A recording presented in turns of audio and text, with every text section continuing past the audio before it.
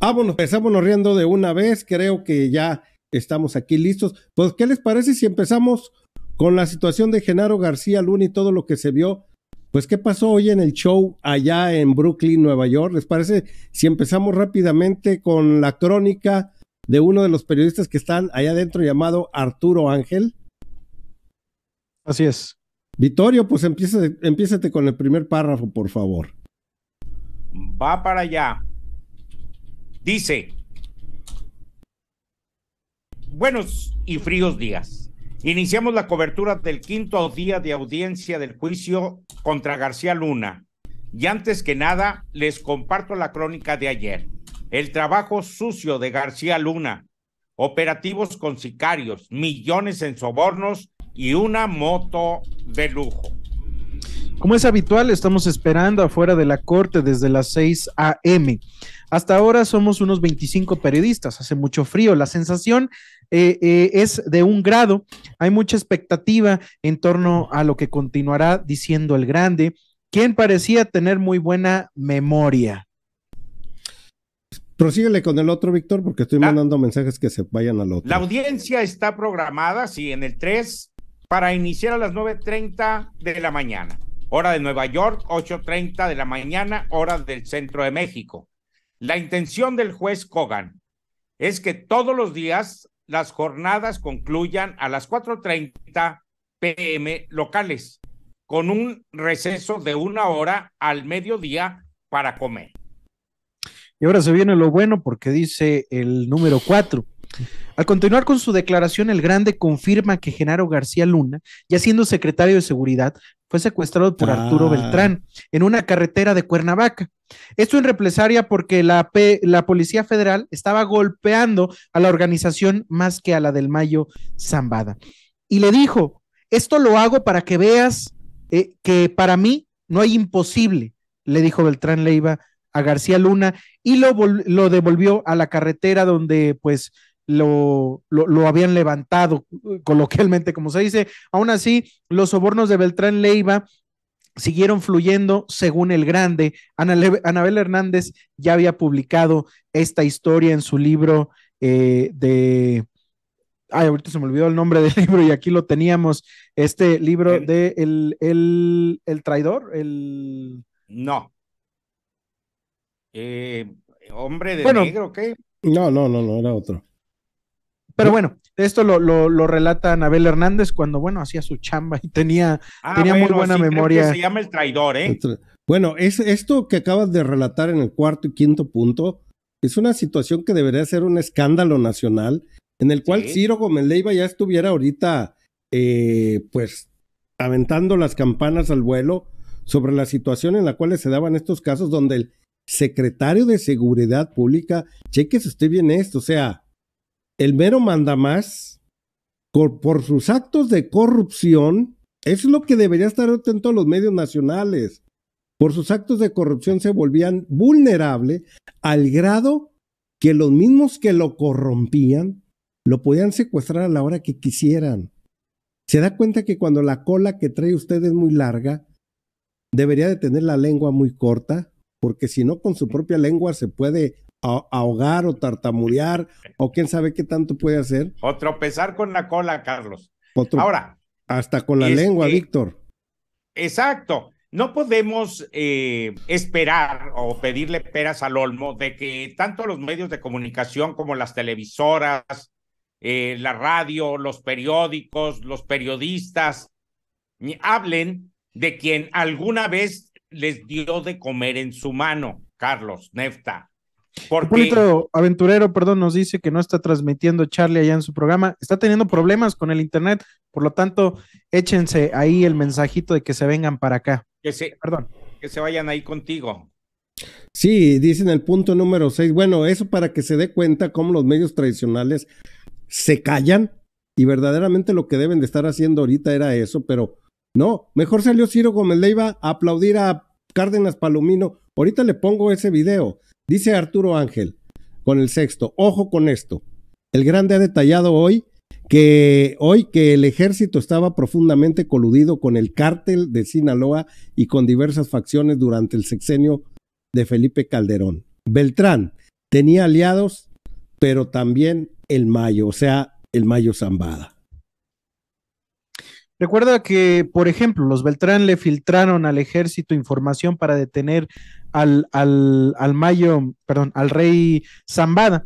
Por esto se lo vendieron al Mayo y se frustró el intento. Ay, ¿acaso me movió? Ahí está, listo.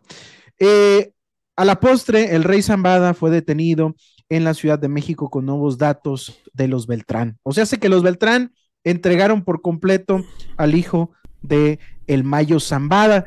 Gracias a esto es que fue detenido. O sea, hace que están eh, colaborando, por así decirlo, se están metiendo la pata entre ellos mismos. Y pues bueno, mientras tanto, Calderón se llenaba las bolsas y también García Luna de dinero forrados en, en billete, pero bueno, García Luna al parecer no era tan intocable como decían, ¿verdad? ya no les queda más porque quienes fueron antes tan amigos, ahora tienen que ser enemigos porque ahora están defendiendo su libertad y sus vidas. En el 8 dice, según el grande, en aquel famoso operativo que derivó y captura de Zambada en la Ciudad de México, participaron sicarios de los Beltrán disfrazados de agentes del asiedo mm y él estaba entre ellos. Ellos fueron quienes realmente lo acorralaron y luego llegó la policía de la Ciudad de México. ¿Se daba cuenta quién eran los policías? Los cárteles en los tiempos de Calderón. Y todavía dice Calderón que él no sabía nada. Hágame usted el favor. Dice punto nueve. Cabrón. Es, es correcto. Nueve. Antes de que se lo entregaran a la poli de la Ciudad de México, los falsos agentes del asiedo entre ellos el grande, Sergio Villarreal, lo fotografiaron porque tenían temor de que lo intercambiaran. En México todo puede pasar, la corrupción es muy grande y se cambian detenidos en los operativos. Vuelvo a repetir, los cárteles la hacían de policía, hágame usted el favor. Y, fíjense nada más porque se viene la parte buena y, es que es el colmo o dirían ahí el cinismo completo. Un delincuente como el grande quejándose de la corrupción en México es el colmo. No sé si reír o llorar. Dice, en un testimonio el grande sostiene que Luis Cárdenas Palomino era el encargado de recibir los pagos de millones y medio de dólares mensuales cuando García Luna ya era titular de la Secretaría eh, Federal. El apoyo, eh, él apoyó, se, el apoyo se volvió más fuerte, incluso tenían mejores datos y más territorio.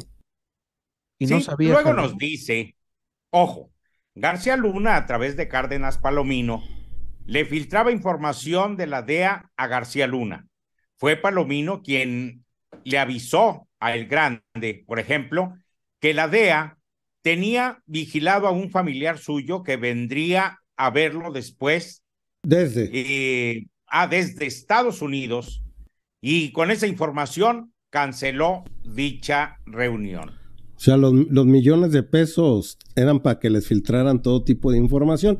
Luego en el número 13 dice, incluso fue García Luna y Cárdenas Palominos quienes le avisaron a la Barbie que el sitio, chéquense bien esto, pues es de dar risa.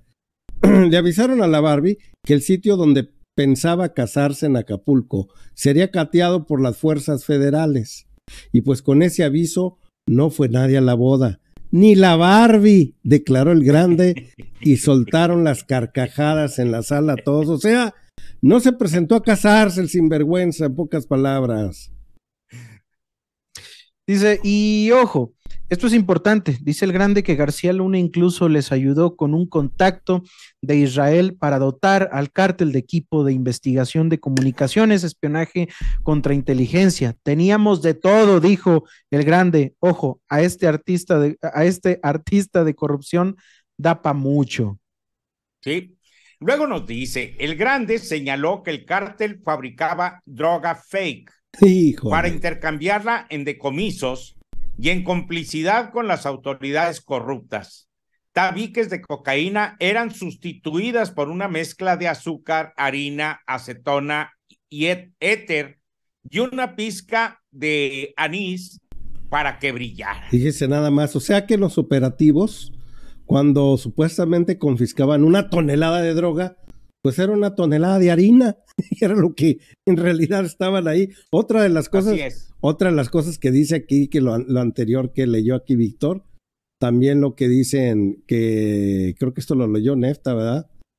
Lo de la, ah, de cómo es posible que hasta los cárteles traían, traían equipo sofisticado que nada ah, más, nada más son para los gobiernos de cada uno de los países. Bueno, pues estos se los conseguían allá en Israel a estos señores como si nada. Por eso, hoy en día, por eso hoy en día es tan difícil bajar el índice de criminalidad porque tienen equipos de ese tamaño, porque tienen armas mm, hasta mejores que el ejército en muchos casos, porque tienen los contactos por todos lados que fueron pues corrompiéndose poco a poquito, como lo está diciendo el grande por aquí, tienen uniformes, tienen siglas, bueno, credenciales, tienen todo, porque las mismas autoridades se coluden con ellos.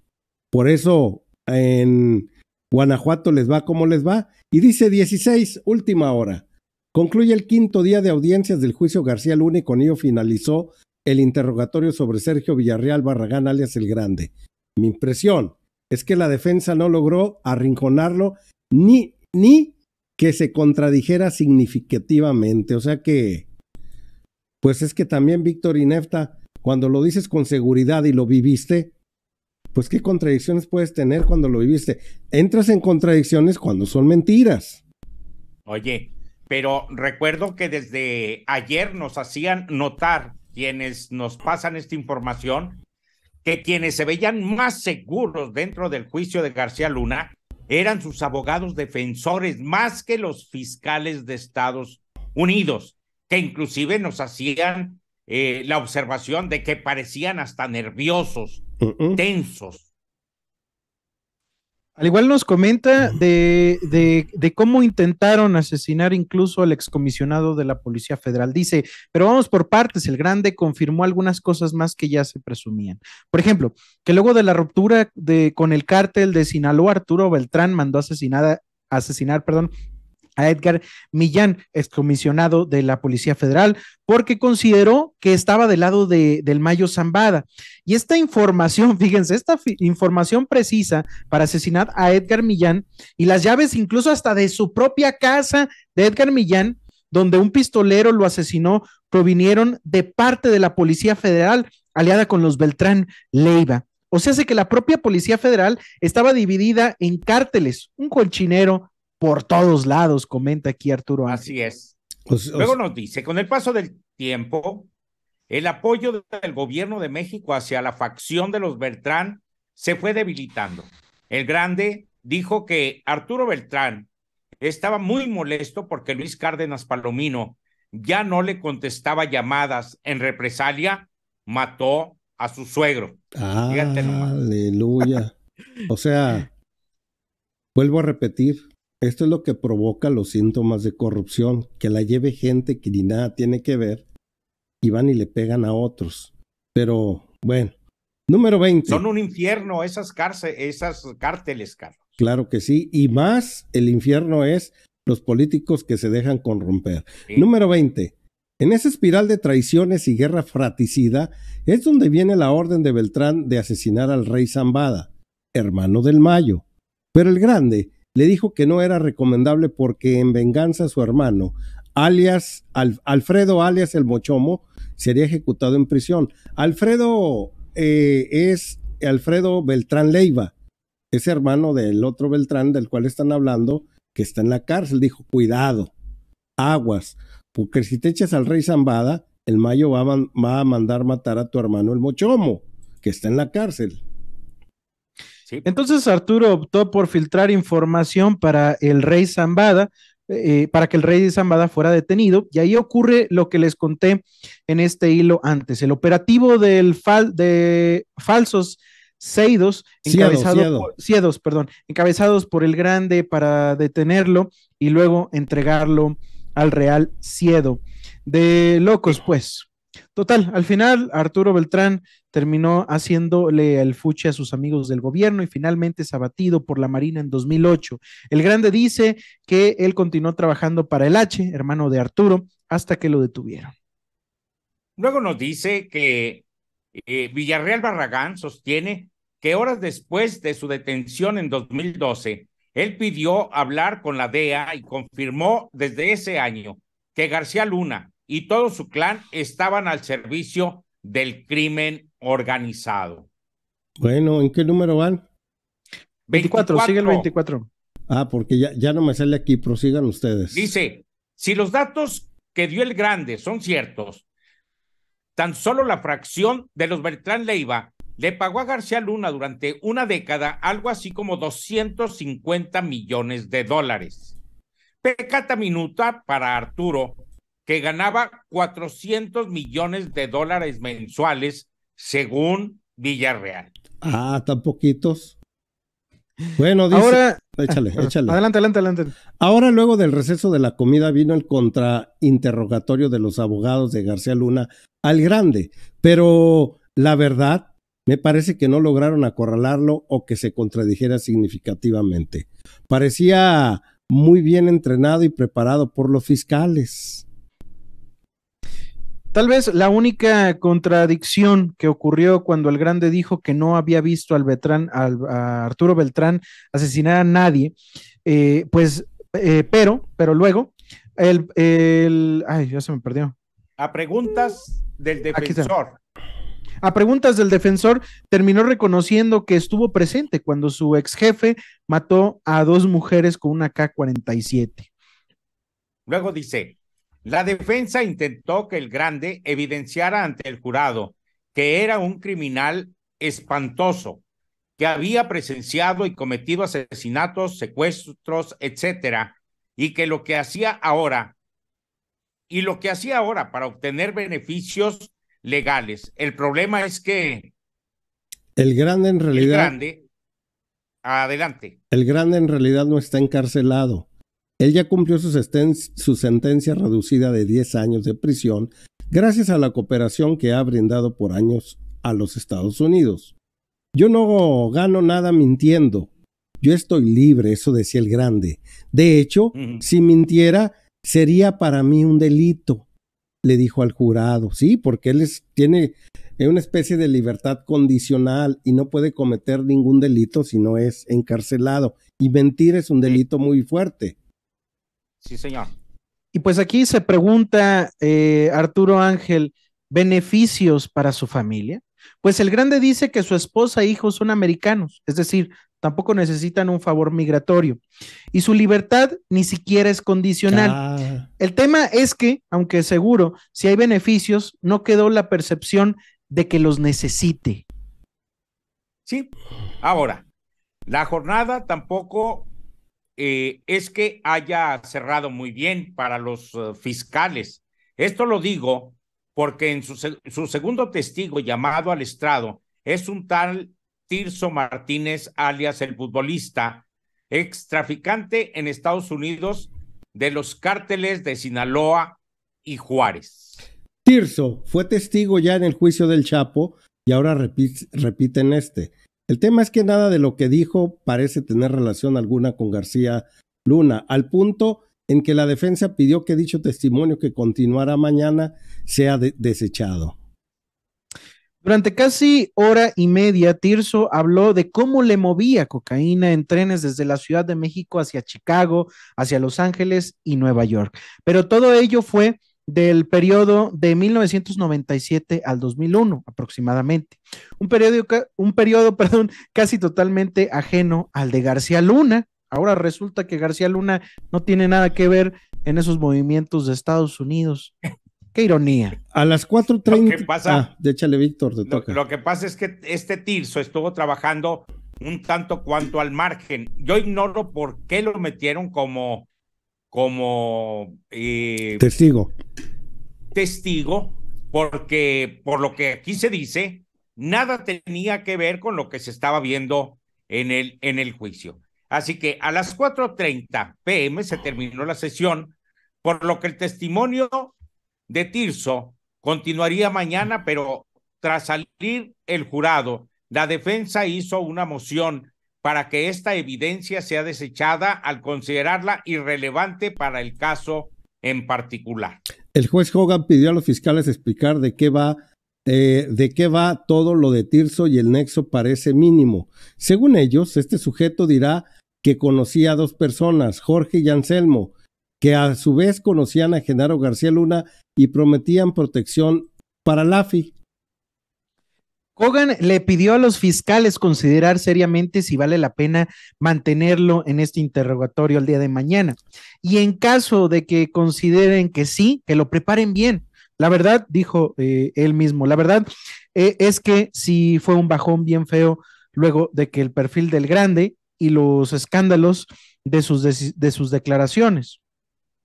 Sí, por último, veremos qué pasa mañana, que continúe la audiencia. La crónica como los demás días, la tendrán sin falta publicada por la mañana. Seguramente veremos otro testigo más de la fiscalía, por lo menos. A ver cuándo le toca a la Barbie, Carlos Nefta, porque se me hace que ya se está preparando también para atacar y tratar de salir adelante con su proceso. No, la Barbie creo que no está para testigos, pero está todavía el rey Zambada, al cual el grande lo detuvo, sí, vestido del asiedo, va a ir también el rey Zambada que está en libertad y otro más que se me olvida su nombre. Son los tres testigos fuertes, ya conocidos, que han testificado en el contra del Chapo Guzmán también. Pues eso lo veremos el día de mañana, pues ahí se ve la serie de complicidades en las cuales los síntomas de corrupción están muy grandes y a todo lo que da. Yo le quiero mostrar esta parte, déjeme, déjeme, se lo pongo ahorita en este momento.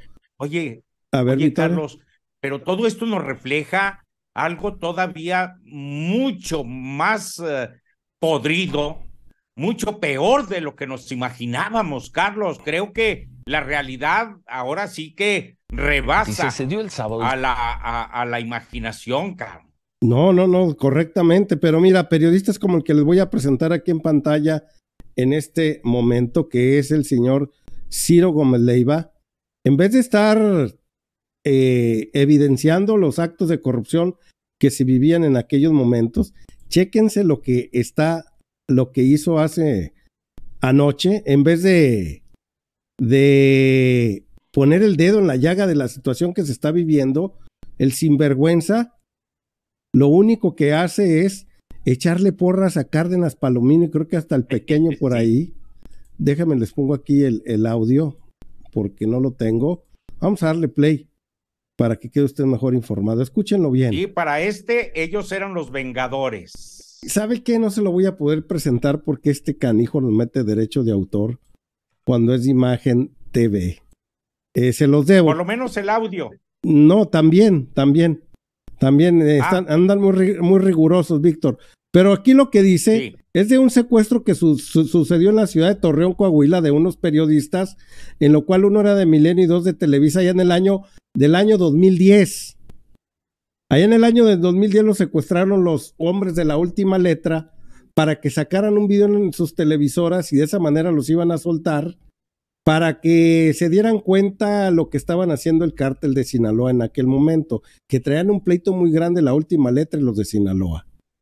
A lo cual eh, pasaron el video y así lo soltaron, pero dicen que todo fue gracias, dice Ciro Gómez Leiva, a Cárdenas Palomiño y al señor Pequeño, que gracias a ellos, estos hombres lograron sacarlos de su secuestro a estos periodistas, que más bien eran reporteros en aquellos ayeres. No, no se lo puedo pasar, es de imagen y este canijo siempre nos tiene todo. Pero él sigue echándoles porras, Víctor y Nefta. Sí, definitivamente. El defensor de los delincuentes, eh, creo que ya lo trae como estigma, creo que ya se hizo experto en defender a, a, quienes de alguna manera tienen vinculación con grupos delincuenciales o se ha comprobado que son delincuentes y, él siempre sale a defenderlos, Carlos. No sé, y tú, no sé si eh, esto todavía sea por congratularse, por agradecer, por sentir que, se sienten comprometidos por lo que recibieron durante muchos años de parte de estos delincuentes.